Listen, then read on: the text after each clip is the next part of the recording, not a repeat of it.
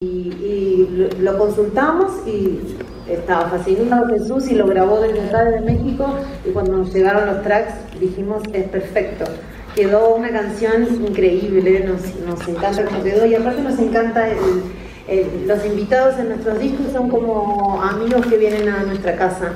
Entonces eh, nos gusta que sea gente que sentimos amor.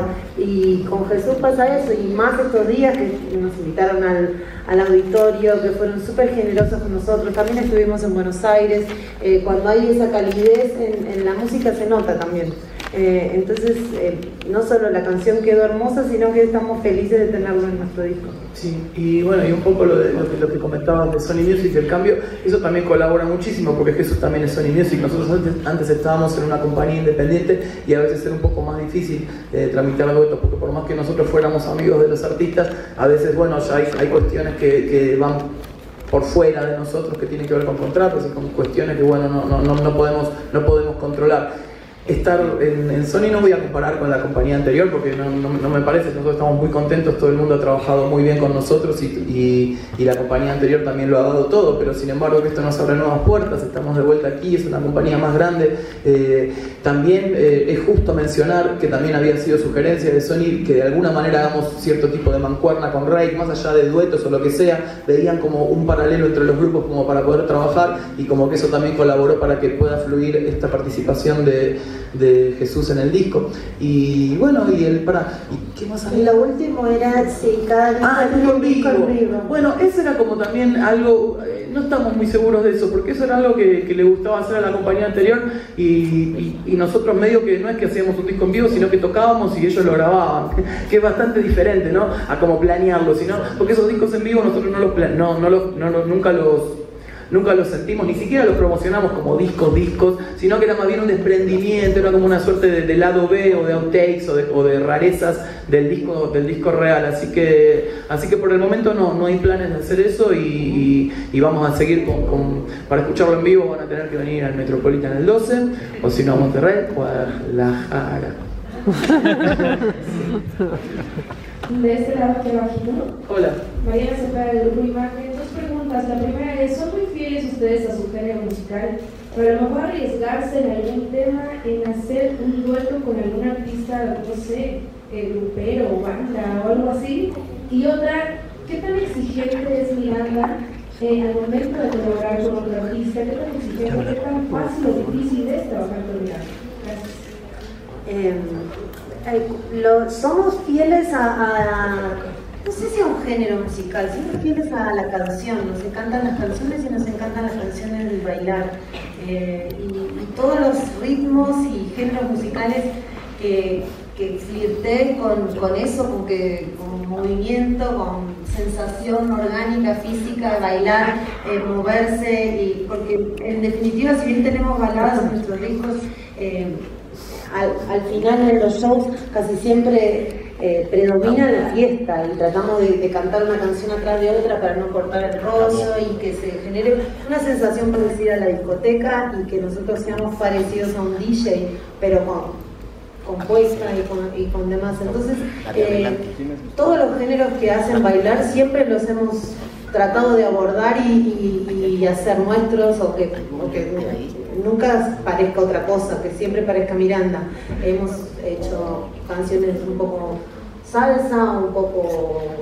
Sí, no, de, hecho, tal vez no tanto acá, pero en Argentina sí que nos hemos mezclado con muchos artistas muy disímiles. De hecho, ni bien sacamos el primer disco, una de las primeras cosas que hicimos fue tocar y grabar con Pimpinela. Y después, durante el transcurso de nuestra carrera, no sé, hemos, hemos cantado no sé, con el Puma Rodríguez, con Soledad, que es una artista de folclore muy renombrada ya. De hecho, yo recuerdo un, nos hemos vuelto un grupo bastante amplio y popular. Hemos, un fin de semana, yo me acuerdo que tocamos un viernes con el chaqueño palavecino, que es un folclorista de pura cepa, y al otro día estábamos en un festival con Muse. Eran como cosas distintas, pero como que siempre de una u otra manera encajábamos. Y la verdad es que desde que vinimos acá a México siempre dijimos que queríamos colaborar con Paquita, la del barrio, pero nunca nos dio bola, no sé, nunca la encontramos.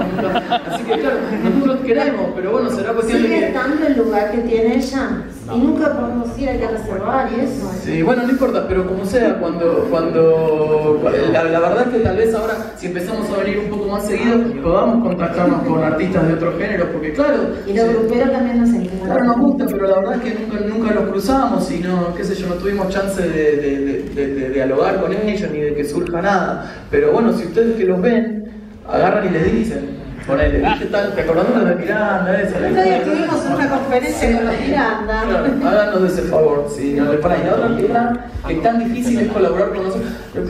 No, es cuestión de dinero, hay que ver cuánto. no, la verdad es que no, es como, como te estamos diciendo. Si a nosotros nos vibra y estamos, y estamos contentos, eh, podemos colaborar con un artista, sea quien sea. Nosotros hacemos, hacemos duetos porque nos gusta la música y porque, y porque las personas nos caen bien. Yo, yo grabamos con Jesús Navarro, pero también otra cosa, cuando llegamos acá a México, la primera cosa que yo hice en Guadalajara fue ir a cantar con Susi 4 y, y, después también con, con Moderato y, y, esas cosas se fueron dando. Y en Argentina participamos también con muchos artistas independientes, que algunos tal vez eh, no, no, En Chile también, en Chile, eh, cantamos en el disco nuevo de Alexander Wanter, que es un artista sumamente talentoso, si bien es eh, del mismo género que nosotros, es como que lo, lo, importante para nosotros es esto del, del de la afinidad, de conocerse, de, de, llevarse bien, caerse bien y sí hacer algo juntos, y no algo tan impuesto de tanta acá y, y, eso, pero yo creo que somos fáciles. Yo creo que sí somos yo fáciles. Soy fácil. Sí. Ya que somos fáciles, nos apuntamos. No. Vení, cantate algo. Cantate algo. Me será. Oye, eh, en, en, esa facilidad, pues con esa facilidad, alguna vez ya llenaron una casa, que es el templo del rock allá en, en Argentina. Ya ha estado gente del tamaño de Charlie García, de Rico Páez, alguna vez Alacrán también. ¿Cómo se le hace, sin ser rockero rockero, llenar de una casa? ¿Cómo se tiene esa dualidad para que los acepte el rockero, los acepte el que le gusta el pop? Pop en el sentido estricto, quizás hasta purista o chocante de la palabra, porque pop en mis tiempos se fueron muchos, era Jimi Hendrix, era Beatles, ahora pop le llaman a cualquier laboratorio. ¿Cómo se logra esa dualidad? Y bueno, eh, se logra porque con insistencia y, y, con la verdad que nosotros lo que hacemos lo hacemos de corazón y un poco verdad, como vos decís, pop se le decía una cosa y después por un tiempo se le dejó de decir y, y era rock y, y, pop daba la impresión de que eran grupos fabricados en oficinas y en escritorios por y, y de casting. No, y, además magos. Claro, sí, sí, sí, que, pero por eso, y estaba como visto por el, por el, por el rockero, estaba como visto como que era música no tan de verdad. Y la verdad que nosotros jamás lo sentimos así y nosotros con orgullo nos embanderamos bajo el ala del pop porque empezamos a tocar, hicimos el mismo circuito que hacen todos los grupos, nosotros empezamos a tocar en, festivales más rockeros, en discotecas, en lugares, porque tampoco es que hay un circuito de pop under, o al menos no lo había en el momento que nosotros tocábamos. Eh, yo creo que yo creo que ahora hay un poquito más de eso, Alex Avanter, eh, está, no sé, María Daniela, nosotros sentíamos, María Daniela en Sonido de Laza, cuando veníamos acá sentíamos cierta conexión con lo que ella hace, eh, que, que, el pop no, no, tiene por qué ser una, un, una, fábrica de, no tiene solamente, porque tampoco está mal ¿eh? que haya grupos así como las Spider, a mí me encantan. Si, si, si alguien hace un casting y le pone un buen compositor y hacen una canción y a mí me gusta, adelante, yo no tengo ese prejuicio de, ah, no, no, no, no, que tienen que ser chicos iguales a mí, que se hagan de ¿qué me importa? A mí me gusta que la música, si la música me gusta, para mí ya está bien. Pero bueno, eh, la verdad es que sí, ese prejuicio nosotros lo sentimos un poco al principio pero le hicimos caso omiso, muy por el contrario, nos, nos, nos hizo más fuertes, nos hizo más fuertes porque sentimos que tenía, que tenía, que tenía mucho más sentido, que, que encima, que encima de que íbamos a hacer una, una, la música que a nosotros nos gustaba, un poco de combate siempre está bueno y siempre es lindo salir a tocar escenarios. A mí por lo menos me gusta salir a tocar escenarios donde el público no está del todo convencido de vos. Y a mí me, gusta eso, porque me parece que es un poco la manera de, cambiar cabezas, de abrir mentes. Cuando yo iba a ver a Virus, a los abuelos de la nada, había gente que estaba de acuerdo y había otra tanta que no. De hecho, acuerdo una vez un concierto de abuelos de la nada en Buenos Aires, de que a Miguel Abuelo le tiran algo acá en la cabeza y se quedó todo el concierto sangrando. Bueno, yo era chiquito y aluciné con eso. Yo quería que ese fuera mi futuro. Tal vez no siempre. ¿Qué? qué? No es idea. ¿Por qué? Me van a tirar, a decir el sueño Sí, pero por eso es que bailo tanto y me muevo tanto por todos lados, porque no me puedo pegar. Pero el- Sí, sí, no, que tirar me han tirado, pero sangrar jamás. Y, el- y- y entonces es un poco eso. A mí me parece que, que cuando pasan esas cosas, eh, hay gente que está viendo y que vos estás proponiendo algo diferente una, y que hay otra manera también de hacer las cosas y que si te gusta el pop te tiene que dar vergüenza es decir, no resulta que sos más cool porque sos rockero y duro ah, que yo también puedo ser recontra duro y, y bailo Britney Spears ¿cuál es la diferencia? es decir, no tiene que ver y, y guarda también nos gusta Metallica y sí, sí, escuchamos de todo tipo de música pero no entendemos que yo no entiendo, nunca nos entró en la cabeza que eso pudiera dividir eh, que- que alguna música fuera más de verdad u otra de mentira. Eso para nosotros nunca fue así. Y bueno, manteniendo este mensaje constantemente y, ay, haciendo, y haciendo canciones lo mejor que podemos, eh, bueno, lo hemos logrado. Y eh, además, derribar una, parte, una es para todos, no tiene restricciones de pop, rock, y lo llegamos a, a tocar ahí por trabajar muchos años y ir tocando cada día en un lugar más grande, más grande, más grande, hasta llegar ahí. Es lo mismo que le pasa a cualquiera y eso no discrimina género. Sí, igual mirá que guarda, claro, no, pero él dice obras, porque el que es el templo del rock allá es obras, que también tocamos. El, Pero el- ¿cuál es más grande? El Luna Park es un poquito más grande y también tocamos ahí. Bueno, de hecho ahí tocamos con Rey la última vez, ellos tocaron ahí y nos invitaron a cantar con ellos. En el Luna Park, en el templo del pop rock. Hola. ¿cómo estás? Adolfo López del Sol de México. Eh, sumado a esta pregunta y a la que mencionaban hace rato sobre los cambios de la, de la música a través de los años, hace 16 años pues la escena musical era básicamente el pop. Hoy eh, hay géneros mucho más fuertes, en la radio se escucha más música urbana, eh, género el el reggaetón como tal. Y bueno, mi pregunta es, ¿ustedes cómo ven la importancia del pop en este momento en comparación, en competencia con estos otros ritmos? Y también cómo piensan que ha cambiado el pop de- dentro de estos 16 años de carrera. La verdad es que nosotros no sentimos que haya competencia, sino día siempre pensamos en música y, y desde que empezó el reggaetón, honestamente, eh, nos pareció una cosa muy novedosa. Y hasta de una u otra manera, siempre nosotros, como es música bailable, le prestamos atención y, y como decía hace un ratito, capaz no se note mucho porque nosotros no nos vamos a poner a hacer directamente un reggaetón porque no nos parece natural para nosotros, pero sí que, qué sé yo, no sé, perfecto es un reggae y habíamos hecho como un ritmo, como una mezcla medio con cumbia, que también, ah, para mí todas esas músicas están como un poco mezcladas. Chicas es una canción, claro, que por ahí no sonó acá, pero la hicimos hace un montón y tiene también ese beat. Eh, ahora en este disco nuevo está no, hay algunas cosas que nosotros metemos, y, pero pensamos que el pop en verdad también se está nutriendo de eso cuando escuchamos algunos tracks de, de, no sé, de Justin Bieber, él tiene, ¿cuál es el de...? Ese es pum, cha, cha, claro, hay, hay alguna, claro, hay alguna, algunas de las estrellas pop anglo que están tomando también eso, y eso nos gusta, y nosotros también tratamos de hacerlo cada tanto, de, de- meter ese ritmo, pero siempre con la canción pop arriba. ¿Y qué es, cuál es la importancia que, que tiene? Nada, la importancia es, es la que le dé cada uno en su corazón. A mí la verdad es que me gusta pop. Eh, yo adelante con el reggaetón y con el urbano y, me pone muy feliz que a los artistas les vaya bien y, y- lejos de sentirlos competencia, los siento, los siento pares y, pienso que nada, que lo importante es que, es que la música siempre sobrevive y lo que sí me parece muy fundamental es que es un ritmo que surgió de Latinoamérica y que se está expandiendo por todo el mundo y que bueno, ahora hay, hay hits mundiales cantados en español. Gracias entonces al género urbano, es decir, no tenemos por qué quejarnos. No significa que no vamos a poder hacer eso nosotros, no tenemos por qué. Vamos a seguir haciendo lo que a nosotros nos, nos fluye naturalmente, pero, pero Pero lo encontramos inspirador. claro, es inspirador, es una buena onda, mejor, qué sé yo. Después cada uno en su casa escuchará lo que, lo que quiera o bueno, o elegirá el club que más le guste para ir a bailar. Por acá chicos, Mariana García de Azteca. Hola. Eh, les quiero, quiero que me hablen un poquito más a fondo del título de su disco. Fuerte será un regreso, ya si bien nunca han estado ausentes en la música, pero aquí en México se ha tenido como un poquito, ¿qué le pasó a Miranda? Ya es el regreso, ¿no? Cuéntenos un poquito qué hicieron en todo ese tiempo que no vinieron a nuestro país. Cuéntenos un poquito del título de su disco y de su atuendo, porque están vestidos así como, bueno. Que conté.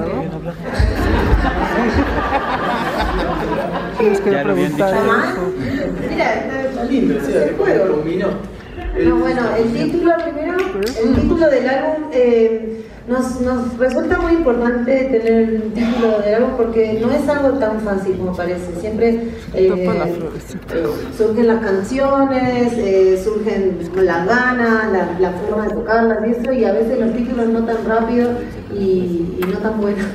Y hacemos listas y eso. Y este título surgió rápido y estaba bueno y, lo, y nos gustaba y queríamos, y ya lo visualizábamos y, y, y un poco también tuvo que ver, eh, eh, fue todo junto, la estética esta y el título se fueron moldeando y después se llenó de canciones. Eh, fue como que hicimos una caja y después le metimos cosas. Y el título, tanto como la imagen, fue desprendiendo diferentes sentidos a medida que lo íbamos analizando o que íbamos pensando formas de presentarlo o, lo imaginábamos escrito con diferentes tipografías fuertes nos sentimos nosotros eh, como banda, como, como amigos, eh, tenemos, no sé, como detalles que nos vamos dando cuenta, primero que hace 16 años que tocamos juntos y hace más que nos conocemos y jamás en la vida nos peleamos, tuvimos una vez, pero antes de la banda. Como Miranda nunca nos peleamos, esta es mi declaración. Eh, nunca nos llevamos muy bien, este grupo y este proyecto nos ha durado más que cualquier otro vínculo que tenemos en la vida. Entonces empezamos a ponerle cada día más amor y lo cuidamos mucho, entonces también sentimos que es nuestro fuerte que nos protege, nos defiende ante el mundo. Eh, acá ponemos todo, el amor que tenemos, la que más nos gusta hacer en la vida, que es subirnos al escenario, meternos en un estudio, hacer música y cada día lo cuidamos más. Eh, entonces se iban desprendiendo cada vez más sentidos de la palabra fuerte, la, fortaleza que sentimos de, de la experiencia que adquirimos todos estos años, que bueno, no vinimos a México, pero estuvimos tocando muchísimo y haciendo diversas cosas, hicimos televisión, hicimos películas, no paramos de trabajar nunca. Y todo gracias a Miranda, eh, porque más allá de, cada cosa que hagamos, de los proyectos paralelos que tengamos, siempre somos la chica de Miranda y el chico de Miranda. Entonces, eh, Miranda es algo muy fuerte para nosotros y nos estamos haciendo cargo hoy día con este disco. Después la otra parte de la pregunta era... ¿Qué, estuvimos haciendo mientras tanto? ¿no? Ah, sí. Y bueno, de todo. Mira, eh, lo, tal vez una de las cosas más importantes que estuvimos haciendo fue participar como jurados en La Voz en su edición de Argentina. Yo creo que acá ya se hace reality, ¿verdad? ¿The Voice? The Voice. Ah, y, y, este hicimos nosotros, estuvimos de jurados en ese, como a todos les gustó, después nos llamaron para otro jurado más, en otro más que se llamaba Elegidos, también era otro certamen de canto muy bueno, con muy buenos artistas. Eh, entre medio de todo eso, Julián hizo algunas cosas de actuación, yo escribí dos comedias musicales, eh, saqué un disco a dúo con el cantante de Virus, Marcelo Moura, saqué el disco de Meteoros, saqué un disco de un proyecto electrónico que se llama Satélite 23, hice la música para la película Mista Cuarembó, que es una película con Natalia Oreiro, eh, un musical con Natalia Oreiro, Maca Migorena, y que, está, que, que, Natalia es la otra participación que tenemos en Fuerte. Natalia Oreiro es una cantante superstar uruguaya y ella canta también en nuestro disco. ¿Y qué más hicimos? Eh, bueno, sacamos un disco Safari que es ah, el sí, único sí, que no vinimos a, a, a, presentar oficialmente acá. Eh, pero lo vamos a decir por ahí, corazón, por ahí, en el 2019. Eh, no, no. Eh, eh, sí, y ese disco, como salió en el momento en el que estábamos con mucha exposición eh, televisiva, tocamos mucho por, nuestra, por nuestro país, en lugares donde nunca habíamos ido, en festivales de este estilo que te dice Alejandro folclóricos, que nunca habíamos ido, hicimos como un crossover de público, dejamos de tocar tanto en discoteca o en festival de pop rock y tocamos más en lugares más populares. Entonces tocamos muchísimo en Argentina. Acá, sí, acá de este otra vez. Eh, bueno, eh, un poco esta. Ah, se está celular. Sí, eh, quisiera preguntarles que si pudieran un poco complementar lo que, va, lo que va a ver la gente hoy y mañana del Imperial y qué sorpresas es lo que va a haber también igual en las fechas que van a ser posteriores en el mes de octubre y qué tanto va a cambiar independientemente del venue, qué es lo que va a cambiar en la presentación de cada, este, de cada concierto de Miranda. Y ahorita que estás comentando un poco sobre la incursión en el teatro musical, ¿en algún momento piensas traer, a, digamos, nivel Latinoamérica, algún musical inspirado en las canciones de Miranda? Ok, eh, bueno, lo que van a ver en el Imperial Depende de, la, de, de qué tan temprano lleguen, porque el lugar es bastante chiquito y, y está todo vendido y capaz que algunos no van a poder ver nada. Y el- entonces va- vamos, vamos a ver cómo, cómo el, el otro día yo fui a bailar y el lugar es increíble, pero cuando yo lo vi y vi el escenario dije, ah, bueno, mierda, vamos a tener que hacer chiquitos acá para entrar, vamos a tener que estar apretaditos. Pero, pero entonces me parece que los shows del Imperial básicamente la el condimento único que van a tener es, es ese, son, en verdad son de los shows que a mí más me gustan, los, los- los shows pequeños, los shows chicos, donde tenés a la gente muy, muy, muy, muy, muy cerca y se arma como una comunión instantánea desde la primera canción porque estás a, a- a- a pasitos cada uno del otro. Y entonces va a tener para mí esa magia de, de- de esos shows que no hemos tenido tantos acá, porque acá hemos tocado en, hemos tocado en el Metropolitan, en, muchos festivales de radio, en lugares mucho más grandes, pero, pero en, salas así pequeñas que yo recuerde, eh, no, no, hemos, no hemos hecho concierto completo nuestro, que no sea una, una intervención acústica o algo así. Así que me parece que eh, lo de hoy eh, va a ser como, como pura pasión. Yo lo siento así. Vamos, a, vamos a tratar de que, de, de- que, de que- el holgorio y el griterío no pase por encima de la excitación y, y la excitación que nosotros mismos tengamos no pase por encima de la música.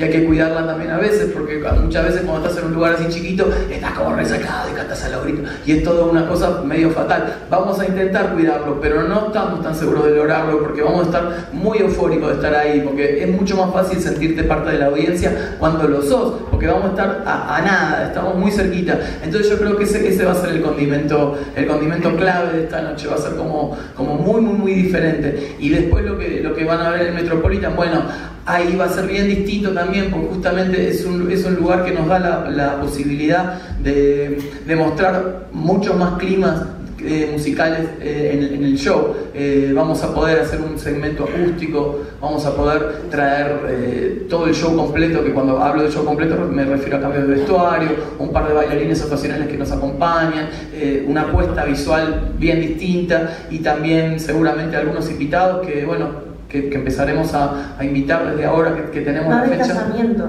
¿Cómo? Va a haber casamiento. Va a haber casamiento, es decir, el, el- el espacio no- no- nos, da, nos da lugar como para recorrer muchas más, mu- mu- mu- mucho más, muchas más sensaciones. Eh, lo, lo de hoy va a ser un show como más de discoteca, sí, palo y a la bolsa va a ser larguito, pero, pero va a ser así como, como más energía. soltero. Claro, despedida de soltero, con la corbata atada acá. Pero, el- pero, pero entonces en, en- el Metropolitan me parece que, que van a ser bien diferentes. Sobre todo es eso, no- no- nos permite mostrar otro, otro tipo de espectáculo que es el que usualmente hacemos.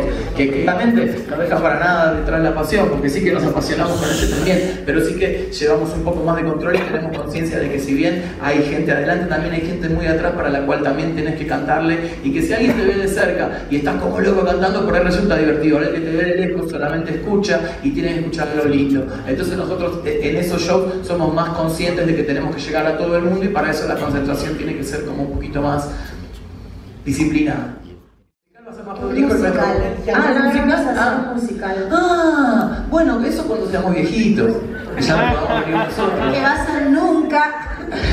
Claro, no, no, no, mientras podamos venir a cantar nosotros nuestras canciones, eh, no vamos a mandar a otro que las cante. Claro, no, porque no, no, no. Eso, pero sí, eh, en verdad sí, es algo de lo que estamos trabajando y nos gustaría, sin duda que nos encantaría hacerlo. Eh, de hecho, bueno, a mí me gustó mucho, ahora está de vuelta, hoy no me puedo levantar, yo la vi acá en México y también vino Mamma Mía, la vi en España. Pero bueno, me gustó más la de Mecano.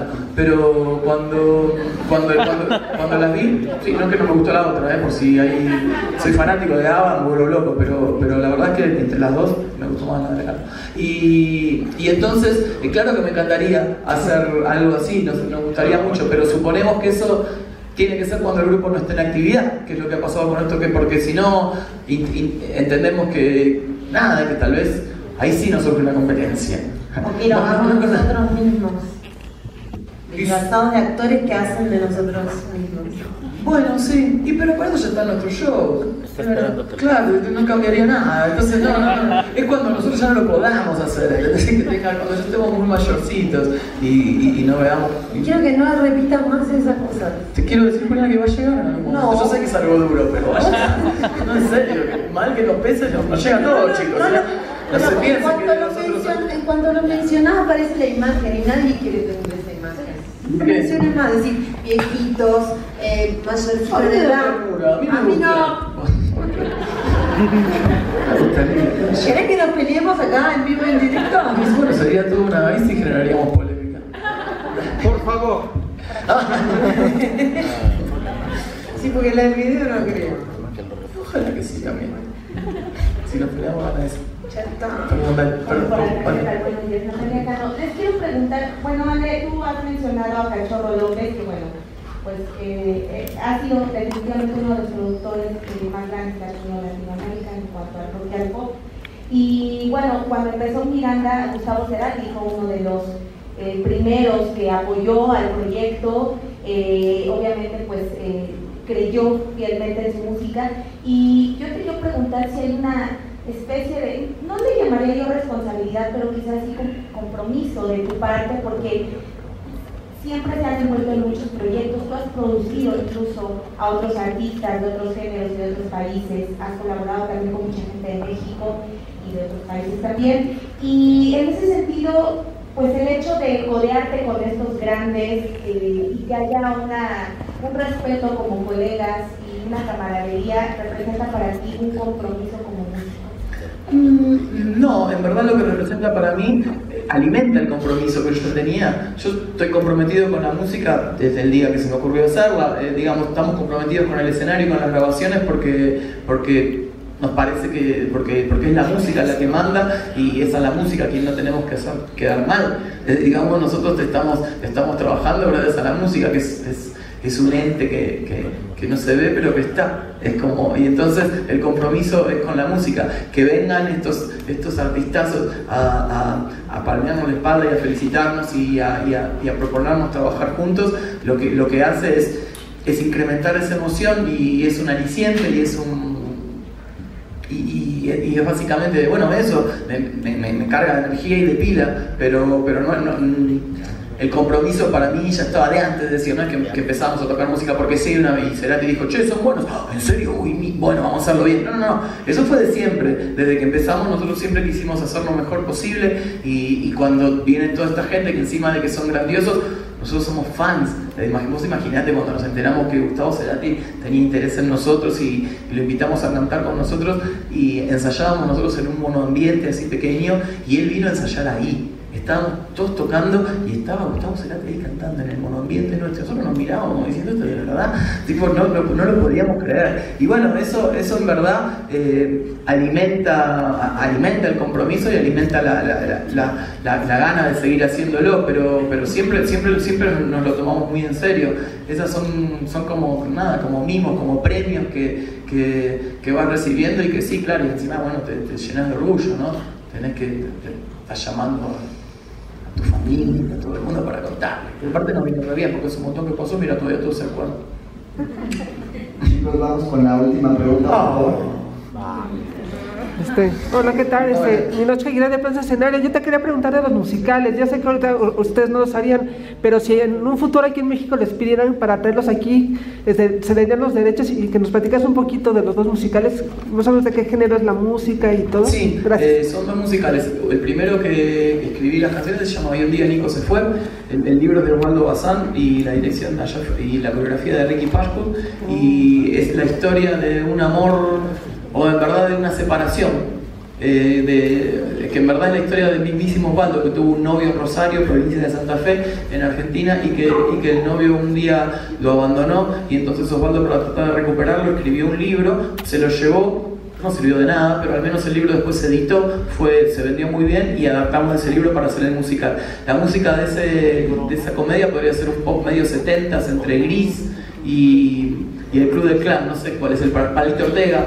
Ah. Bueno, va medio por ahí, es como bastante cachondo. Y después el otro que hice es un tema bastante más local. Nico fue tal vez acá sí les pueden, les- les- lo puedan ver. El otro es Shisha, se llama Shisha musical y es, eh, eh, es la vida de Shisha Murano, que fue una, un- una señora que asesinó a sus amigas eh, invitándolas a tomar el té. En el momento de la plata dulce en Argentina, cuando vos ponías plata en el banco y te daba un montón de interés, había mucha gente que había gente que entendía de eso y lo aprovechaba y había otra que no tanto. Entonces Gilla lo que hacía, le pedía las platas, decía, yo me encargo, yo voy al banco y le pedía plata a sus amigas, la llevaba, ganaba interés y se los devolvía. Pero con el tiempo se fue engolosinando y se la fue gastando toda y de, y de repente no, no les podía devolver la plata y las amigas le empezaron a reclamar. Entonces Gilla lo que hizo fue invitarlas a su casa a tomar el té y puso veneno en el té y las mató a las tres. Ella nunca dijo, nunca dijo, de hecho ahora está viva, pero está, yo creo que está internada, quedó una cosa muy rara con ella. Y, ella nunca se hizo cargo de, que las había asesinado, pero sí obviamente lo hizo. Bueno, escribimos un musical sobre eso. Así somos. Y, bueno, son esos los dos que, que ojalá los quieran ver acá. Okay, Muchísimas gracias chicos, algo más que quisieran Bueno, no más, por ahí ya lo saben, pero eh, mirad en vivo son nuestras redes sociales, eh, si hacen el favor de visitarlas, todos, cada, cada vez que hablan de nosotros nos vendría muy bien y ahí también se enteran de todo lo que quieren saber acerca de conciertos y todo y bueno, muchas gracias por haber venido. Gracias. Vamos con, con, la última ronda de fotografías, por favor, para ah, sí. la mesa. Chicos, al frente, al frente, al frente, por favor. Un beso al frente, por favor. Muchas gracias. Gracias. Gracias. Gracias, chicos. Ya, ya, ya. Vamos a hablar en. Izquierda, por favor. Gracias. Gracias, chicos. Gracias. Gracias.